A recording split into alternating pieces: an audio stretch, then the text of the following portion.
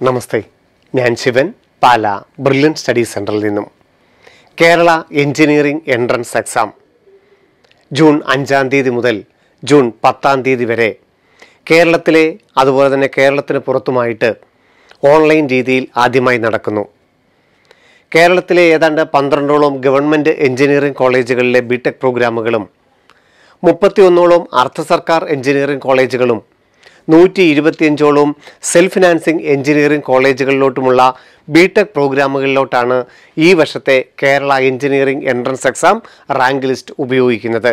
ഈ വർഷം മുതൽ ആദ്യമായി ഓൺലൈൻ രീതിയിൽ നടക്കുന്ന ഈ എൻട്രൻസ് എക്സാമിൽ ജൂൺ ഇരുപതോടുകൂടി എൻട്രൻസ് എക്സാമിൽ ഫിസിക്സ് കെമിസ്ട്രി മാത്തമാറ്റിക്സ് വിഷയങ്ങളിൽ ലഭിച്ച സ്കോർ പബ്ലിഷ് ചെയ്യുകയും അതിനുശേഷം രണ്ടായിരത്തി ഇരുപത്തിനാലിലെയും വിവിധ ബോർഡ് എക്സാമുകൾ എഴുതിയ വിദ്യാർത്ഥികൾക്ക് ഇരുപത്തിനാല് ഇരുപത്തിമൂന്ന് ഏത് വർഷമാണോ എഴുതിയത്?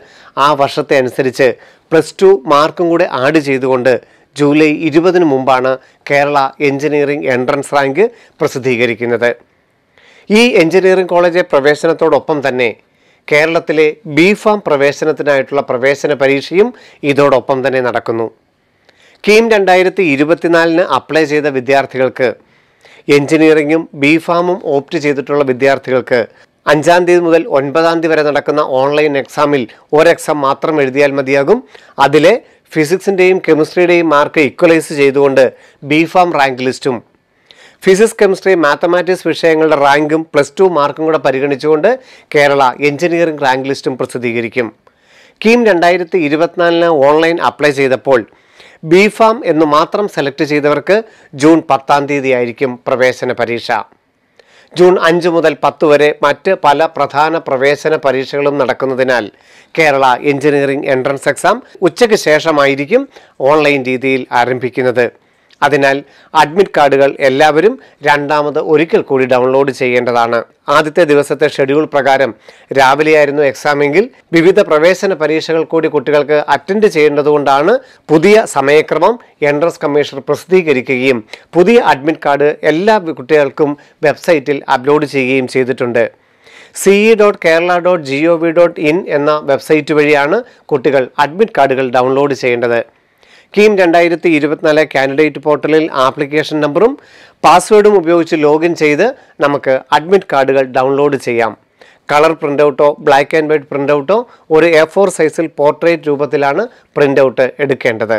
അഞ്ചാം തീയതി മുതൽ ഒൻപതാം തീയതി വരെ നടക്കുന്ന കേരള എഞ്ചിനീയറിംഗ് എൻട്രൻസ് എക്സാം ഉച്ച കഴിഞ്ഞിട്ട് രണ്ട് മുതൽ അഞ്ച് മണി വരെയാണ്.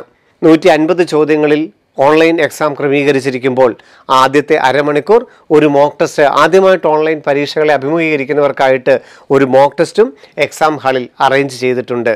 അഡ്മിറ്റ് കാർഡിന്റെ ഡീറ്റെയിൽസിലേക്ക് നമുക്കൊന്ന് കണ്ണോടിക്കാം. കാൻഡിഡേറ്റ് പ്രൊഫൈൽ പേജിലാണ് നമുക്ക് കാൻഡിഡേറ്റിന്റെ ഡീറ്റെയിൽസ് എല്ലാം നമുക്ക് വ്യക്തമായിട്ട് കാണാം. ഫോട്ടോയും സിഗ്നേച്ചറും ഏതെങ്കിലും കാരണവശാൽ ഡിഫക്റ്റ് ഉള്ള വിദ്യാർത്ഥികൾക്ക് അവ അപ്ലോഡ് ചെയ്ത് കറക്റ്റ് ചെയ്തതിന് ശേഷം മാത്രമേ അഡ്മിറ്റ് കാർഡുകൾ ഡൗൺലോഡ് ചെയ്യാൻ സാധിക്കുകയുള്ളൂ. അഡ്മിറ്റ് കാർഡ് എന്ന ലിങ്കിൽ അഡ്മിറ്റ് കാർഡിനോടൊപ്പം വാലിഡ് ആയിട്ടുള്ള ഒറിജിനൽ ഐ ഡി പ്രൂഫും എക്സാം ഹാളിൽ നാം കൊണ്ടുപോകേണ്ടതായിട്ടുണ്ട്. സ്കൂൾ ഐഡന്റിറ്റി കാർഡ് ഫോട്ടോയുള്ളത് അതുപോലെ തന്നെ ട്വൽത്ത് ബോർഡ് എക്സാമിന്റെ അഡ്മിറ്റ് കാർഡ് ആധാർ കാർഡ് ഈ Aadhaar card with photo card voters I D bank passbook with photograph PAN card driving licence passport ഇവയിൽ ഏതെങ്കിലും ഒരു ഐ ഡി പ്രൂഫിന്റെ ഒറിജിനലാണ് അഡ്മിറ്റ് കാർഡിന്റെ കൂടെ നിങ്ങൾ എക്സാം സെന്ററിൽ കൊണ്ടുപോകേണ്ടതായിട്ടുള്ളത്. കീം രണ്ടായിരത്തി ഇരുപത്തിനാലിന്റെ അഡ്മിറ്റ് കാർഡിൽ കാൻഡിഡേറ്റിന്റെ ഫോട്ടോയും സിഗ്നേച്ചറും ഓൾറെഡി അപ്ലോഡഡ് ആണ്. പുതിയ ഫോട്ടോ പേസ്റ്റ് ചെയ്യേണ്ടതായിട്ടില്ല. റോൾ നമ്പർ ആപ്ലിക്കേഷൻ നമ്പർ കുട്ടിയുടെ പേര് അഡ്രസ്സ് ഏതൊക്കെ വിഷയത്തിന് അപ്ലൈ ചെയ്തിട്ടുണ്ട്. എഞ്ചിനീയറിംഗും ബി ഫാമിനും പരീക്ഷയുള്ളവർക്ക് അഞ്ച് മുതൽ ഒൻപതാം തീയതി വരെയാണ് എക്സാം. ബി ഫാം മാത്രമാണെങ്കിൽ പത്താം തീയതിയാണ് എക്സാം. അതുപോലെ എക്സാം സെന്ററിനെ കുറിച്ച് കൃത്യമായിട്ടൊരു ഐഡിയ നമ്മൾ ഉണ്ടാക്കിയെടുക്കണം. അതുപോലെ എക്സാം സെന്ററിനെ കുറിച്ച് കൃത്യമായൊരു ധാരണ നമ്മൾ ഉണ്ടാക്കിയെടുക്കണം. അതായത് രണ്ട് മുതൽ അഞ്ച് മണി വരെ നടക്കുന്ന എക്സാമിൽ ഒന്ന് മുപ്പതാണ് ലാസ്റ്റ് റിപ്പോർട്ടിംഗ് ടൈം ഒന്ന് മുപ്പതിന് ശേഷം ഒരു കാരണവശാലും എക്സാം സെന്ററിൽ പ്രവേശിപ്പിക്കുകയില്ല. പ്രധാനപ്പെട്ട എഞ്ചിനീയറിംഗ് കോളേജുകളുടെയൊക്കെ ലാബുകളാണ് ഓൺലൈൻ എക്സാം സെന്ററിനായി വിനിയോഗിച്ചിരിക്കുന്നത്. എക്സാം സെന്ററും അതിന്റെ കൃത്യമായ അഡ്രസ്സും തന്നിട്ടുണ്ടാകും. ഡേറ്റ് ഓഫ് എക്സാം നിങ്ങൾ ശ്രദ്ധിക്കണം. അഞ്ച് ആറ് ഏഴ് എട്ട് ഒൻപത് തീയതികളിലായിരിക്കും എക്സാം അതിൽ നിങ്ങളുടെ ഡേറ്റ് ക്ലിയറായി മനസ്സിലാക്കണം. എക്സാം റിപ്പോർട്ടിംഗ് ടൈം പതിനൊന്ന് മുപ്പതിന് എക്സാം സെന്റർ ഓപ്പൺ ചെയ്യും. ഒന്ന് മുപ്പതിന് ക്ലോസ് ചെയ്യും. ഈ സമയത്തിനിടയ്ക്ക് ഏതെങ്കിലും ഒരു സമയത്ത് ഒറിജിനൽ ഒറിജിനൽ അഡ്മിറ്റ് കാർഡും വാലിഡ് ഐ ഡി പ്രൂഫുമായിട്ടാണ് എക്സാം ഹാളിൽ പ്രവേശിക്കേണ്ടത്. എക്സാം ടൈം രണ്ട് മുതൽ അഞ്ച് മണി വരെ ആയിരിക്കും. അഡ്മിറ്റ് കാർഡിലൂടെ വാലിഡ് ഐ ഡി പ്രൂഫ് ഉണ്ടായിരിക്കണം. കമ്പ്യൂട്ടർ ബേസ്ഡ് ടെസ്റ്റാണ് ഒരു കാരണവശാലും ഒന്ന് മുപ്പതിന് ശേഷം എക്സാം സെന്ററിൽ പ്രവേശിപ്പിക്കുകയില്ല.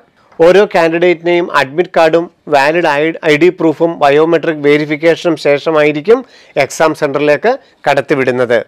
ഓൺലൈൻ എക്സാം ആയതുകൊണ്ട് മറ്റ് ഇലക്ട്രോണിക്സ് ഉപകരണങ്ങളോ വാച്ചുകളോ ഒന്നും നമുക്ക് ധരിക്കാനാവുകയില്ല. നമുക്ക് റഫ് വർക്ക് ചെയ്യാൻ ആവശ്യമായ അഡീഷണൽ ഷീറ്റുകൾ എക്സാം സെന്ററിൽ പ്രൊവൈഡ് ചെയ്യും. നമുക്ക് അത് റഫ് വർക്ക് ചെയ്യുന്നതിനായിട്ടുള്ള പേന നമ്മൾ കരുതിയിരിക്കണം. ഓരോ അഡീഷണൽ ഷീറ്റിന്റെ മുകളിലും നമ്മളുടെ റോൾ നമ്പർ രേഖപ്പെടുത്തുകയും ചെയ്യണം. എക്സാമിന് ശേഷം നമ്മൾ റഫ് വർക്ക് ചെയ്യാനായിട്ട് ഉപയോഗിച്ച അഡീഷണൽ ഷീറ്റ് എക്സാം സെന്ററിൽ തന്നെ ഏൽപ്പിച്ചിട്ടാണ് നമ്മൾ ഐ ഡി പ്രൂഫും അതുപോലെ അഡ്മിറ്റ് കാർഡുമായി തിരികെ എക്സാം സെന്ററിൽ നിന്നും പുറത്തേക്ക് വരുന്നത്. എക്സാം സെന്ററിലോട്ട് പുറപ്പെടുമ്പോൾ admit card valid I D proof ഒരു പേന എന്നിവയാണ് നിർബന്ധമായും നിങ്ങളുടെ കയ്യിൽ കരുതേണ്ട കാര്യങ്ങൾ. ജൂൺ അഞ്ച് മുതൽ ജൂൺ ഒൻപത് വരെ നടക്കുന്ന Kerala engineering entrance exam rank ലിസ്റ്റിൽ ഉൾപ്പെടുവാനായിട്ട് പ്ലസ് ടുവിന് അൻപത് ശതമാനം മാർക്കും. അതോടൊപ്പം തന്നെ Kerala engineering entrance exam physics chemistry mathematics വിഷയത്തിന് മുഴുവനായിട്ടും പത്ത് മാർക്കെങ്കിലും കിട്ടിയ കുട്ടികളായിരിക്കും കേരള എഞ്ചിനീയറിംഗ് റാങ്ക് ലിസ്റ്റിൽ ഉൾപ്പെടുന്നത്. O B C S C S T വിഭാഗങ്ങൾക്ക് പ്ലസ് ടുവിന്റെ മാർക്കിൽ മിനിമം കട്ട് ഓഫിൽ വെയിറ്റേജ് ഉണ്ടായിരിക്കും. അപ്പോൾ കേരള എഞ്ചിനീയറിംഗ് റാങ്ക് ലിസ്റ്റിൽ സബ്ജക്റ്റുകൾക്ക് പ്രത്യേക കട്ട് ഓഫ് ഇല്ല. ഫിസിക്സ് കെമിസ്ട്രി മാത്തമാറ്റിക്സ് വിഷയ ഉൾപ്പെടുന്ന നൂറ്റി അൻപത് ചോദ്യങ്ങളിൽ നിന്നും പത്ത് മാർക്കെങ്കിലും കിട്ടുന്ന കുട്ടികളെല്ലാം എഞ്ചിനീയറിംഗ് എൻട്രൻസ് എക്സാമിന്റെ റാങ്ക് ലിസ്റ്റിൽ ഉൾപ്പെടുവാനുള്ള സാധ്യതയുണ്ട്. കേരളത്തിലെ പന്ത്രണ്ടോളം വരുന്ന ഗവൺമെന്റ് എഞ്ചിനീയറിംഗ് കോളേജുകളിലും മുപ്പത്തിയൊന്ന് അർദ്ധ സർക്കാർ കോളേജുകളിലും നൂറ്റി ഇരുപത്തിയഞ്ച് സ്വകാര്യ എഞ്ചിനീയറിംഗ് കോളേജുകളിലുമായിട്ട് അൻപത്തിമൂന്ന് ബി ടെക് പ്രോഗ്രാമുകളാണ് നിങ്ങൾക്ക് പ്രവേശനം കാത്തിരിക്കുന്നത്. ജൂൺ ഇരുപതോടുകൂടി സ്കോർ പബ്ലിഷ് ചെയ്യുകയും ജൂലൈ ഇരുപതോടുകൂടി കേരള എഞ്ചിനീയറിംഗ് റാങ്ക് ലിസ്റ്റ് പ്രസിദ്ധീകരിച്ചതിന് ശേഷം C dot Kerala dot G O V dot in എന്ന വെബ്സൈറ്റ് വഴിയാണ് നമ്മളുടെ റാങ്കിന്റെയും റിസർവേഷന്റെയും സാധ്യതകൾക്കനുസരിച്ച് നമുക്ക് പ്രിഫറൻസ് ഓർഡർ നൽകാൻ സാധിക്കുന്നത്. ഗവൺമെന്റ് എഞ്ചിനീയറിംഗിലെയും അർദ്ധ സർക്കാർ എഞ്ചിനീയറിംഗിലെയും സ്വകാര്യ എഞ്ചിനീയറിംഗിലെയും നമ്മളുടെ കമ്പ്യൂട്ടർ സയൻസ് ഇലക്ട്രിക്കൽ ഇലക്ട്രോണിക്സ് പുതിയ തരത്തിലുള്ള ഏറ്റവും സ്പെഷ്യാലിറ്റി പ്രോഗ്രാമുകൾ അടക്കം നമുക്ക് നമ്മളുടെ പ്രിഫറൻസ് ഓർഡർ കൊടുത്തായിട്ടാണ് നമുക്ക് അലോട്ട്മെന്റ് ഓരോ കോളേജുകളിലും അലോട്ട്മെന്റ് ലഭിക്കുന്നത്.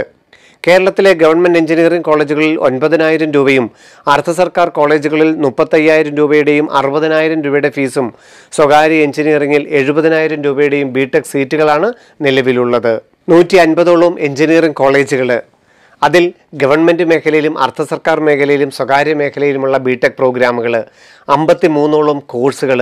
നിങ്ങളുടെ സ്വപ്നങ്ങൾക്കും ആഗ്രഹങ്ങൾക്കും അനുസരിച്ച് ഏറ്റവും നല്ല പ്രോഗ്രാമുകളാണ് നിങ്ങളെ കാത്തിരിക്കുന്നത്. ഏറ്റവും നന്നായി നെഗറ്റീവ് മാർക്കിങ്ങൾ ഒഴിവാക്കി ശ്രദ്ധയോടുകൂടി കേരള എഞ്ചിനീയറിംഗ് എൻട്രൻസ് എക്സാം നിങ്ങൾ എഴുതുക. അതിന് അതിലൂടെ തന്നെ ഈ വരുന്ന അധ്യയന വർഷത്തിൽ ഈ മേഖലയിലെ ഏറ്റവും നല്ലൊരു ബിടെക് പ്രോഗ്രാമിൽ നിങ്ങളുടെ ഭാവി ശോഭനമാക്കുക. എന്റെ ബ്രില്യൻ ഫാമിലി നിങ്ങളോടൊപ്പം ഉണ്ടാകും. നന്ദി നമസ്കാരം. എൻട്രൻസ് സംബന്ധമായ വാർത്തകളും അപ്ഡേഷനുകളും ഏറ്റവും വേഗം ആധികാരികമായി അറിയാൻ Brilliant study centre Pala YouTube channel subscribe ചെയ്യുക. ബെല്ലൈക്കൺ അമർത്തുക. ഈ വീഡിയോ മറ്റ് സുഹൃത്തുക്കളിലേക്കും ഷെയർ ചെയ്ത് നൽകുക.